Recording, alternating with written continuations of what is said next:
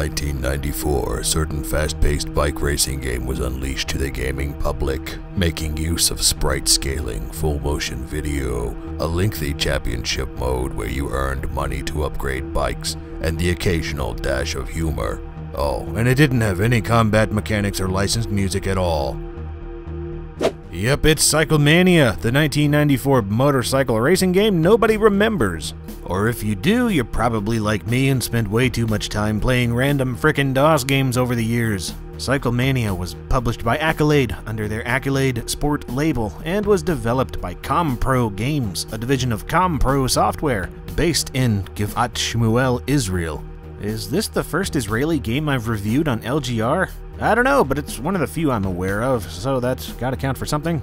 Compro games only lasted for a few years, but they did crank out games like Net Zone and Surface Tension before leaving computer games behind. Apparently, they developed some pretty awesome video streaming technology while making these games, and in the later 90s reinvented themselves as Skyline Software Systems.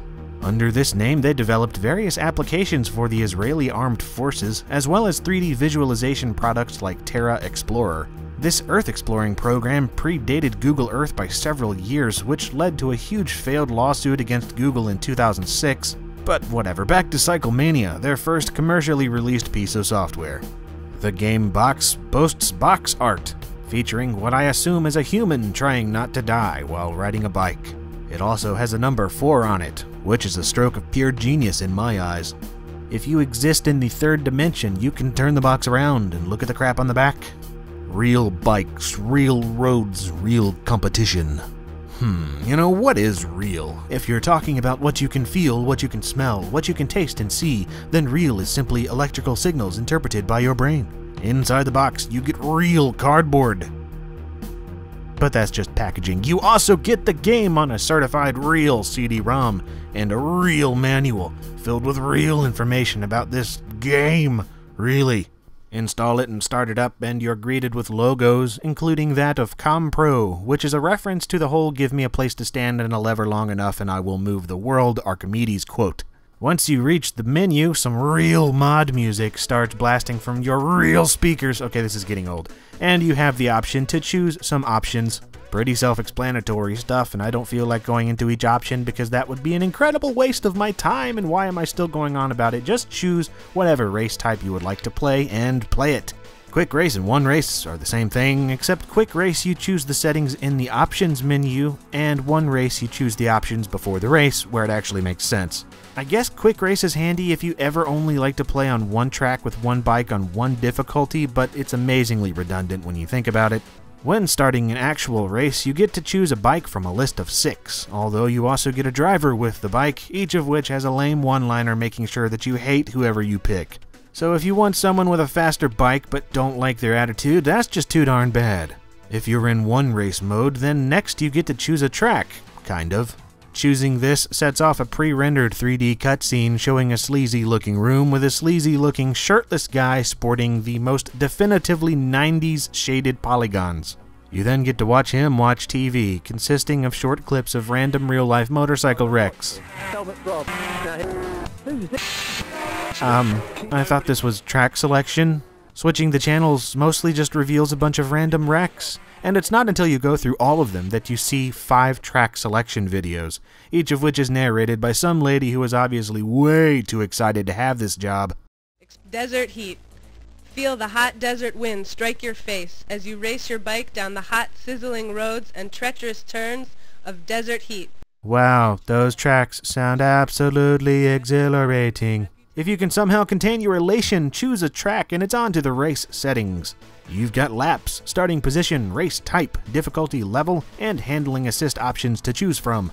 The only thing that really needs explaining here is the race type.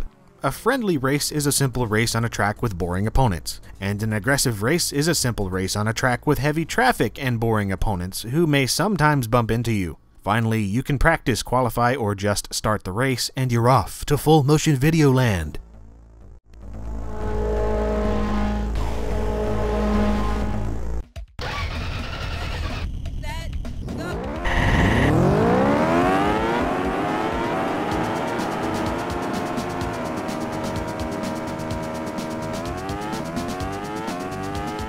As you can probably guess, the track itself is just video of a real life road with some sprites laid on top of it. A similar effect was used in quite a lot of FMV games back then, dating all the way back to certain Laserdisc arcade games in the 80s. Sometimes this method is believable, sometimes it's not, and in Cyclemania I find that it gets the job done, and for a DOS game from 1994 it's not too shabby. The entire race takes place from this third person perspective behind your bike with the dashboard down below, somewhat similar to Road Rash's layout.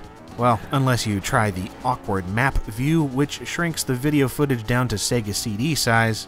Another thing I just have to point out is that the viewpoint is a tad low, which means you, your opponents, and traffic tends to get in the way of you, your opponents, and traffic, resulting in some unavoidable crashes, simply due to the fact that you can't see what's going on. And each time you crash, you're given one of these random clips of a bike wreck from the TV earlier.